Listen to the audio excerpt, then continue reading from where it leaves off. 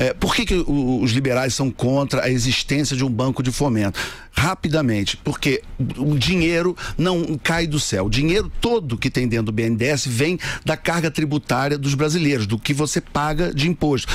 Esse dinheiro, parte do, do dinheiro captado por imposto, vai para o governo, o governo dá para o seu banco de fomento e esse banco vai escolher quem merece um dinheiro subsidiado ou não, um dinheiro abaixo das taxas de juros de mercado, ou para quem o mercado não quis emprestar, porque se, se acha que, que os burocratas estatais podem ter critérios melhores e mais sofisticados para emprestar dinheiro do que o Itaú, do que o Bradesco, o que é, é uma grande bobagem. E o resultado de todo o questionamento que se faz a esse tipo de empréstimo é isso, porque o sistema de incentivo para que você deixe que burocratas estatais emprestem dinheiro num país de, de juros altos, de Selic alta, você dá dinheiro para um empresário subsidiado, você cria na mão para ele uma vantagem competitiva muito grande e ele acaba por é, superar os seus concorrentes, não por ter uma, produtos mais inovadores, de maior qualidade ou melhores, mas por ter dinheiro mais barato. Então isso é uma deformidade da economia